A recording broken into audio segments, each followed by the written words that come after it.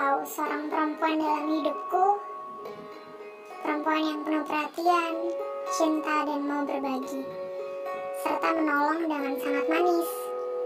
Ia adalah seorang teman dan saudara yang luar biasa hebat.